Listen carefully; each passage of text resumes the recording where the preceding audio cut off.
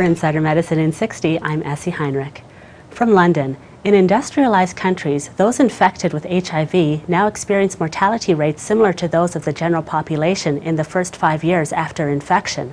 In a study of over 16,000 people, the excess mortality rate of those infected with HIV sexually dropped from 40.8 before 1996 to 6.1 in 2006. However, excess mortality was still evident in the long term. From Paris, Newborns undergo several procedures that can result in pain and stress, with many performed without medication or therapy.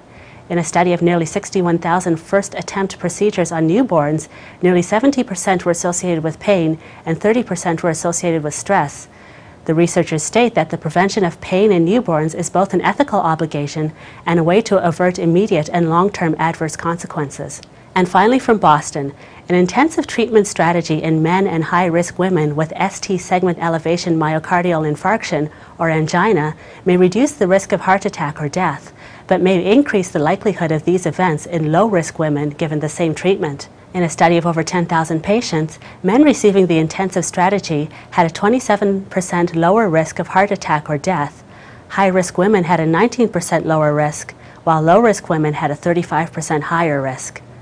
For Insider Medicine in 60, I'm Essie Heinrich.